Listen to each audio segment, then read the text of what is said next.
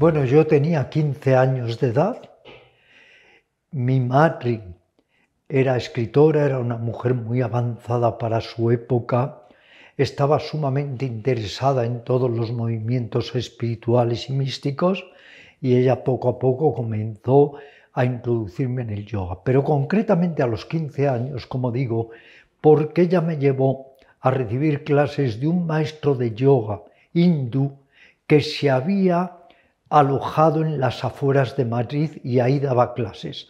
Y con esa edad fui y empecé a recibir clases. Eso por un lado. Por otro lado, alguien, una figura que ha sido importantísima en mi vida, que era un mexicano que se llamaba Rafael Mastiarelli, al que como buen mexicano llamábamos los amigos Pancho. Él estaba muy evolucionado en los niveles de la conciencia muy interesado por todas las filosofías asiáticas y tuve ocasión de ir recibiendo también mis primeras enseñanzas de él.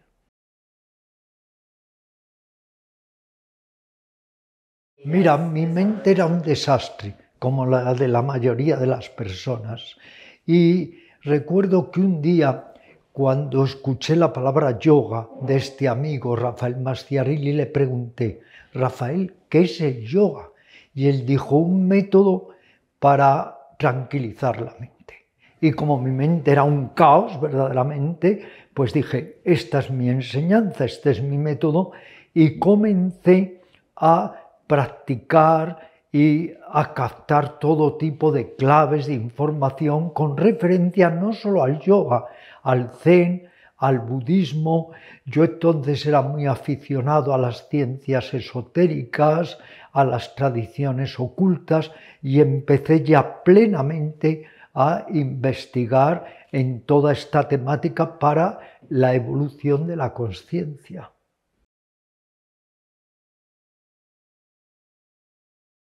El yoga real se denomina así porque es el yoga más auténtico. Podríamos decir que es la columna vertebral de todo el yoga. Es el primer yoga o la primera modalidad de yoga. Tiene como 5.000, 6.000 años de antigüedad y apunta de manera muy directa a la mente para cuidarla, equilibrarla, entrenarla, desarrollarla y conseguir estados superiores de conciencia que nos permitan ver las cosas como son, no como creemos que son, no como nos han dicho que son, sino como realmente son. Y el Raja Yoga es un cuerpo muy rico de enseñanzas, de métodos, de técnicas para acelerar la evolución consciente y humanizarnos. El Raja Yoga se sirve entre otras muchas técnicas que ahora podemos un poco eh, de alguna manera adentrarnos en ellas, se sirve básicamente de la meditación. ¿Qué es la meditación? La meditación es un método específico para entrenar, cuidar y desarrollar la mente. Pero además de la meditación en el Raja Yoga hay un cuerpo valiosísimo de enseñanzas para el autoconocimiento, para la autorrealización y algo muy importante, para la transformación. Podríamos decir que si el yoga no nos transforma, ¿para qué nos sirve? Para tranquilizarnos un rato, para estar a gusto un rato con nosotros mismos está bien, pero eso es de muy corto alcance. Lo verdaderamente esencial del yoga es que nos ayude a cambiarnos, a transformarnos, a encontrar lo que llamamos la sabiduría o entendimiento correcto. El Raja Yoga es como el comienzo de ese gran río que es el yoga, en el que luego en años, siglos sucesivos, milenios sucesivos han ido surgiendo otras modalidades de yoga. Antes de este libro yo he publicado con Kairos un libro que se llama Hatha Yoga, que es el yoga del cuerpo y de las energías. Y este, el Raja Yoga, es más el yoga que apunta al centro mental de una manera directa. Sí, verás, nace el Raja Yoga y nace como un intento de amplificar la mente, de ensanchar la conciencia, de encontrar respuestas a los grandes interrogantes de la vida, los interrogantes existenciales. Y a partir del Raja Yoga van surgiendo otras modalidades yógicas, entre las que se encuentran las más clásicas son el Karma Yoga o Yoga de la acción consciente, Jnana Yoga o Yoga del discernimiento, Bhakti Yoga o Yoga devocional. Estos son los yogas más antiguos, pero luego yogas más tardíos son el Tantra Yoga, el Kundalini Yoga, el Mantra Yoga y otros yogas de los que se habla muy poco, pero son muy interesantes, como es el Atman Yoga o el Nada Yoga o el Virya Yoga o tantos otros. Debo decir que el yoga se convierta así en un río extraordinariamente ancho en el que van entrando y cabiendo infinidad de afluentes para enriquecer este gran río del yoga que de alguna manera ha permeado en todas las épocas y en todas las latitudes, incluido en Occidente, porque muchas veces pensamos que el yoga es solo de la India. No, el yoga también ha encontrado raíces entre los sumerios, los drávidos, en Mesopotamia, y hemos de decir que en Occidente los estoicos, por ejemplo, yo les llamo los yogis de Occidente porque coinciden en muchos sentidos con las enseñanzas y métodos del yoga.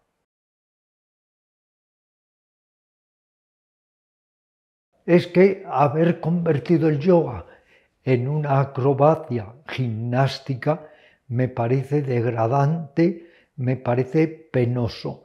Haber sacado del yoga solo un fragmento es como si de la, medicina, del cuerpo médico, sacas solamente una técnica médica como eliminar una verruga. Es que eso es realmente reduccionista y absurdo. El yoga postural, de alguna manera, ¿qué es? Es gimnasia, no nos engañemos, es como decía Krishnamurti, puro ejercicio si no está inspirado en el Raja Yoga o es para llegar al Raja Yoga. El verdadero yoga, incluso fisiológico, psicosomático, es una escalera, y lo dicen todos los textos, para llegar al yoga mental o al Raja Yoga. Hay hoy en día una obsesión por los asanas. Hay libros que dicen mil asanas, luego sale otro dos mil asanas. Y como decía un maestro de yoga, todos los días alguien inventa posturas de yoga, porque claro, tú misma puedes ahora inventar una serie de posiciones físicas, puesto que el cuerpo puede asumir infinidad de posturas. Luego quedarse en el asana es obsesión por el cuerpo, culto al ego querer convertirse en la persona más flexible del cementerio, pero no transformarte. Y si no hay transformación, no hay yoga. ¿De qué sirve tener unos glúteos muy fuertes y mucha elasticidad si la mente no es la que gana en flexibilidad y en apertura? Para practicar solo asanas, sin ningún contenido emocional, espiritual, mental, es que es mejor hacer pesas, natación o footing, porque el yoga nace para invitarnos a la quietud, a la inmovilidad, no solamente para estar dando saltos y agitándonos. Entonces hay que aprender a conciliar quietud y acción y llevar la quietud, el sosiego a la acción de la vida cotidiana. Aprovecho para decir que el Hatha Yoga, el verdadero yoga psicosomático, debe incluir las posturas, ejercicios de purificación y limpieza, lo que se llaman mudras y bandas, que son técnicas de control neuromuscular, la relajación o savasana, el pranayama, que la mayoría de las escuelas se olvidan del pranayama cuando, como decían los antiguos sabios chinos, lo primero que debe aprender un ser humano es a respirar. Sin pranayama no hay yoga. De hecho, en la antigüedad había una escuela que se llamaba Pranamadins, que Pranamadins era que solo se dedicaban a controlar la respiración y lo que llamamos en el yoga el prana y la fuerza vital.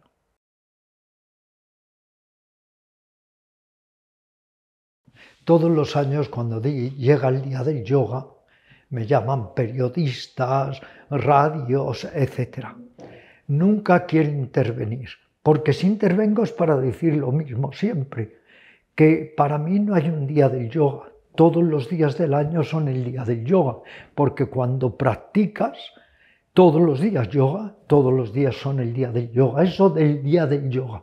Gente que si el día del yoga asiste a una gran manifestación de asanas y ya no se vuelve luego a acordar para nada del yoga. No, el yoga exige motivación, regularidad en la práctica y el yoga es básicamente actitud, una actitud de vida, un modo de ser, de comportarnos, de estar también en nuestra vida cotidiana.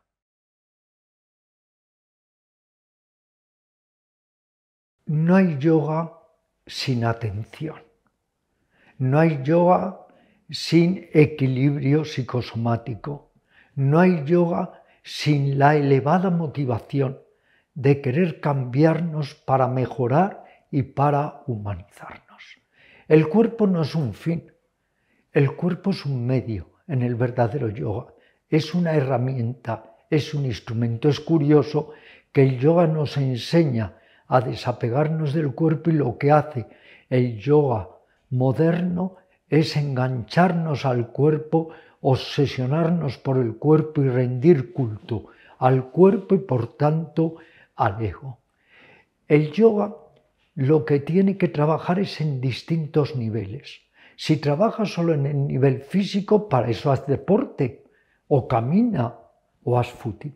Tiene que trabajar en el nivel somático, en el energético, en el mental y en el psíquico o emocional. Eso es yoga, un trabajo integral, lo que llamamos el trabajo sobre nosotros mismos. Y eso requiere por un lado, enseñanzas y por otro lado, métodos. Y eso requiere sobre todo asiduidad. A mí me gusta decirle a mis alumnos de meditación a esfuerzos más totales, resultados más totales, a esfuerzos más parciales, resultados más parciales, pero esto es lo mismo en una actividad artística, musical o de cualquier orden. Pero ¿qué sucede? que muchas veces el practicante de yoga todo lo quiere aquí y ahora, el síndrome de la inmediatez. Todo tiene que ser aquí y ahora. Y eso no funciona así en el yoga. El trabajo es paulatino, es progresivo y debe alcanzar a todos los niveles de nuestro ser. Y sobre todo tiene que facilitar el cambio interior. Recuerdo una anécdota que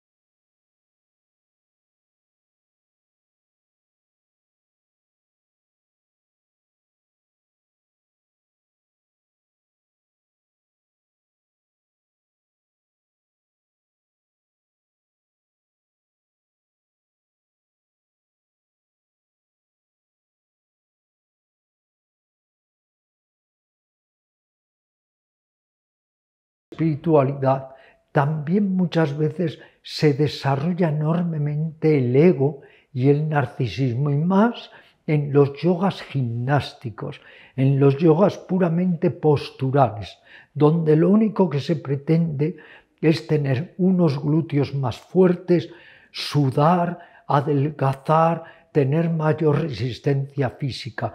¿De qué sirve esa resistencia física si no hay resistencia mental y emocional? Hay otro maestro de yoga que con mucho sentido del humor, pero muy acertadamente dice, al final todos acabaremos en el savasana postura del cadáver.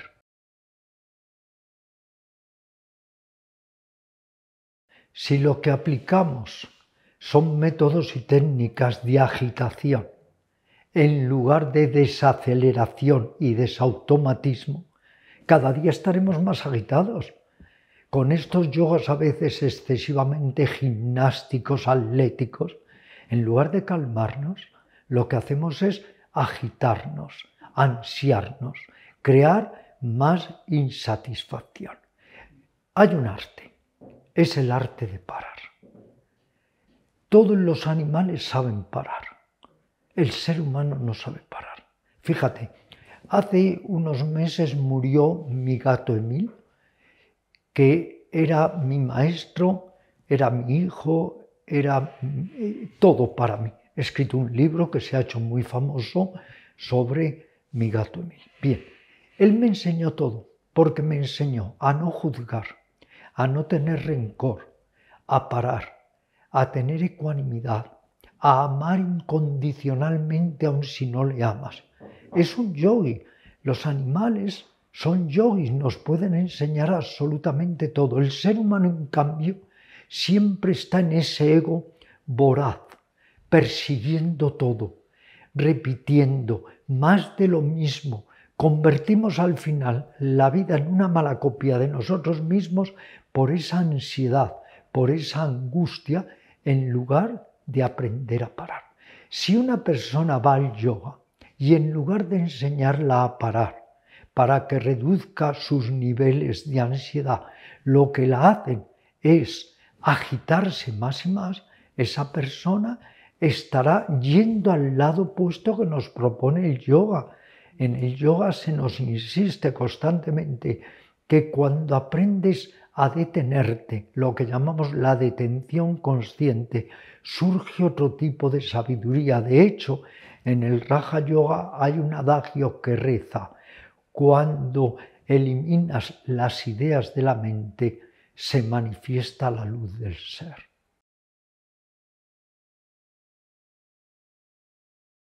Total. Mira, si a mí me dijeran qué dos cualidades hay que desarrollar en la meditación y en el yoga en general, y en cualquier disciplina espiritual son atención y ecuanimidad. La propia palabra ecuanimidad subsume otros dos términos.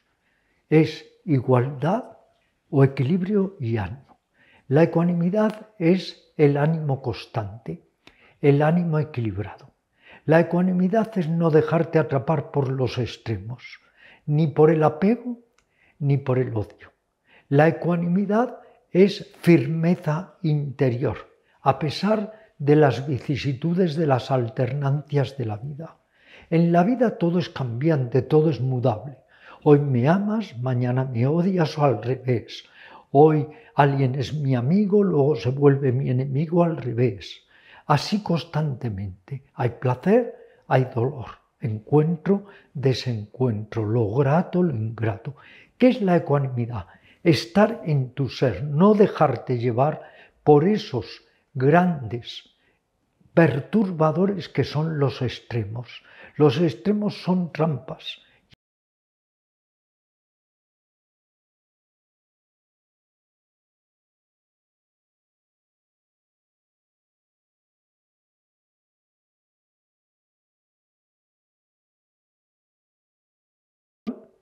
Energía contento interior, lucidez y sobre todo paciencia y compasión.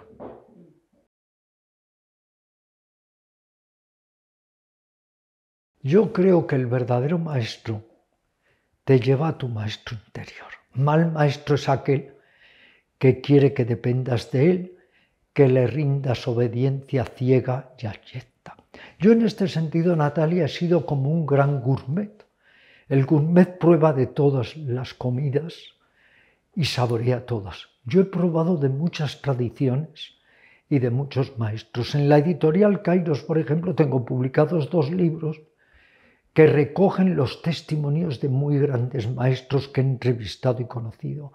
Uno de estos libros es Conversaciones con yogis y el otro es Conversaciones con lamas y sabios budistas. He viajado a Oriente en 120 ocasiones y he entrevistado yogis, eremitas, sadhus, ermitaños, lamas, infinidad de personas. Y he ido tomando de cada uno lo que yo he pensado que era lo mejor para mi evolución interior y un precioso regalo que luego he ido compartiendo con los demás. He pasado por las diversas tradiciones budistas, he conocido inmensos maestros budistas como Nyanaponika Pilladasi Tera, Ananda Maitreya, Narada Tera y tantos otros, y no te digo nada en cuanto a yogis, pues claro, desde Baba Mutananda, Charya Sarma y tantos otros, porque yo empecé a viajar a la India en 1972 con la que entonces era mi esposa, la gran profesora de yoga y traductora Almudena Uribe y estuvimos durante años viajando a la India haciendo solo una cosa, acudiendo a sentarnos a los pies de grandes maestros para recibir enseñanzas. De hecho, de hecho, en aquella época la prensa, los periódicos me llamaban el cazador de hombres santos, porque mi afán era encontrar personas que me pudieran transmitir conocimientos. Pero fíjate, el gurú, el maestro, puede convertirse en un gran obstáculo si no sabemos liberarnos de él, porque a la larga lo que hay que encontrar es nuestro maestro interior. Si no es como si te quedas totalmente adictado, te haces un adicto a tu psicoanalista, a tu psicoterapeuta, ahí no hay avance. Si te haces un adicto, un discípulo ciego con tu maestro, eso es un obstáculo muy grave. Enorme, fíjate que en las antiguas tradiciones ya se nos decía que hay varias fases. La primera fase es escuchar, escuchar la enseñanza. La segunda fase es reflexionar y discernir. La tercera fase es incorporar esas enseñanzas a nuestra vida. La cuarta fase es, si esas enseñanzas evidencian que te ayudan, las asumes y si no, simplemente las descartas.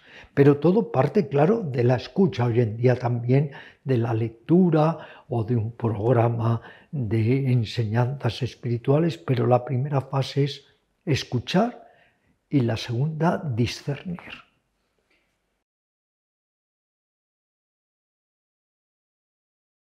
Mira, habría que escribir un libro, se lo podría yo proponer a Agustín Panique, pero habría que escribir un libro que se llamara Verdad y Mentira del Yoga.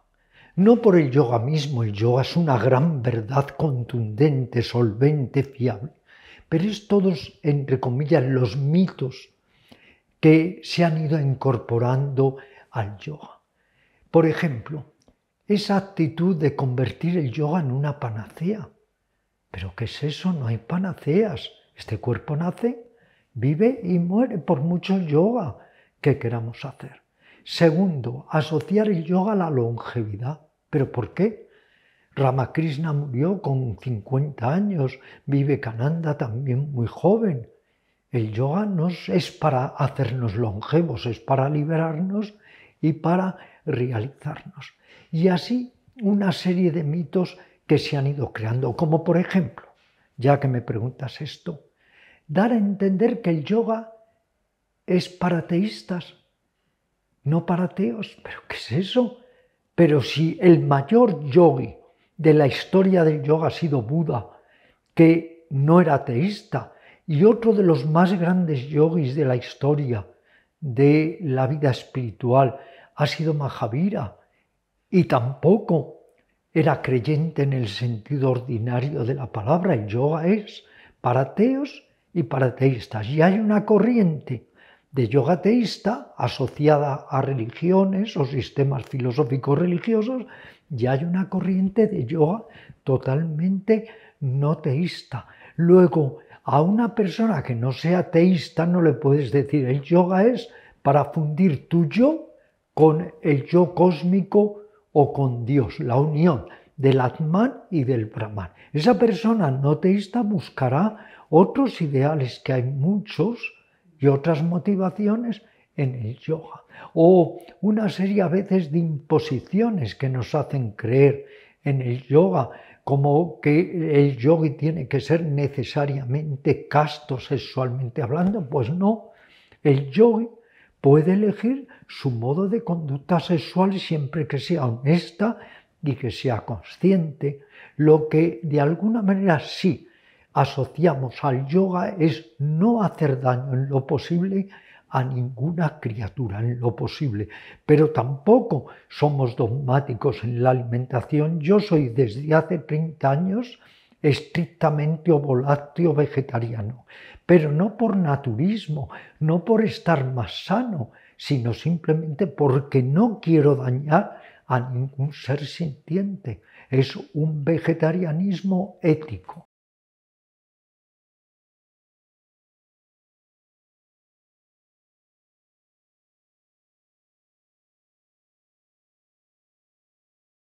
Pero esto es como aquello cuando llegó un asceta a Buda y le dijo, Señor, después de muchos años de penitencia, fíjate, he logrado caminar sobre las aguas.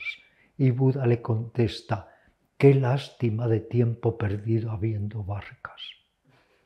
Pues es que hay mucha falsedad también al amparo del yoga.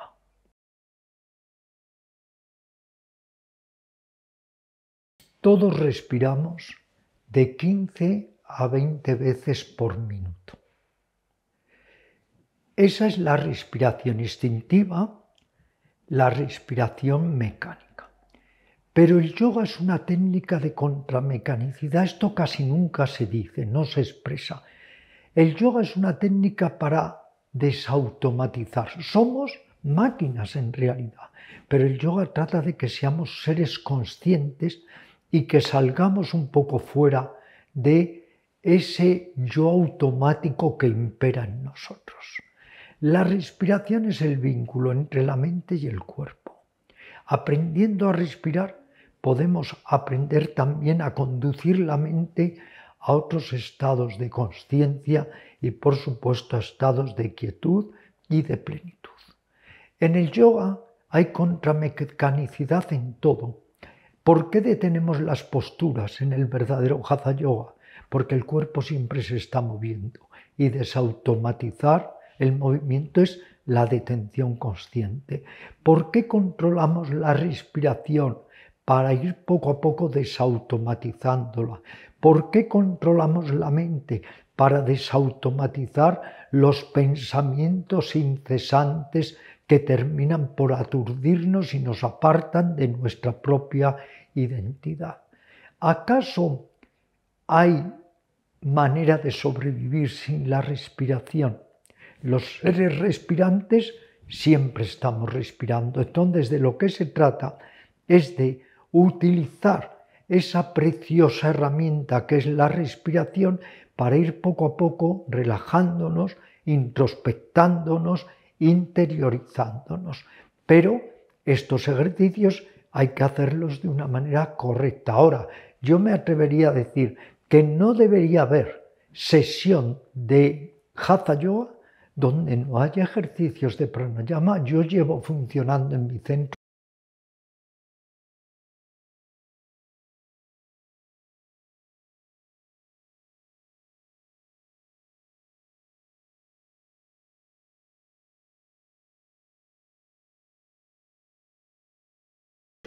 una clase de asanas y no se incorporen el pranayama y el savasana por lo menos.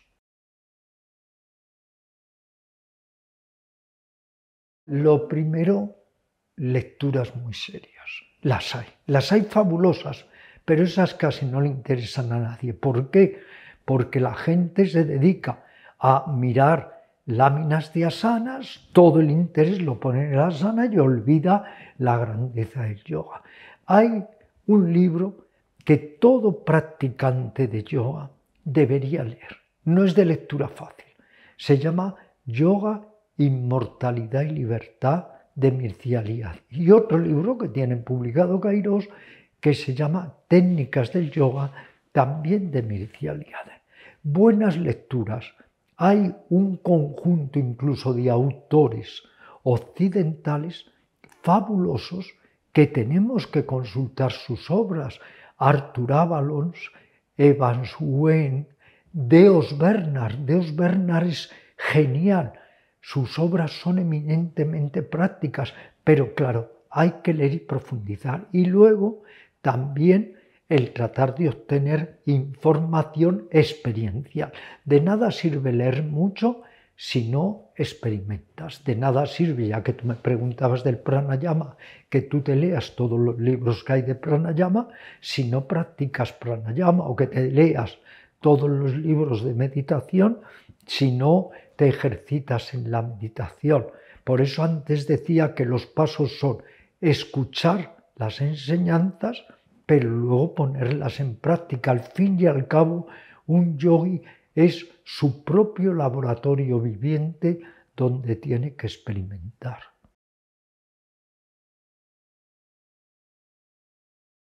Si no hay método, si no hay disciplina, no llegamos a ninguna parte. Lo que ha hecho que el yoga sobreviva después de milenios es que es un método práctico.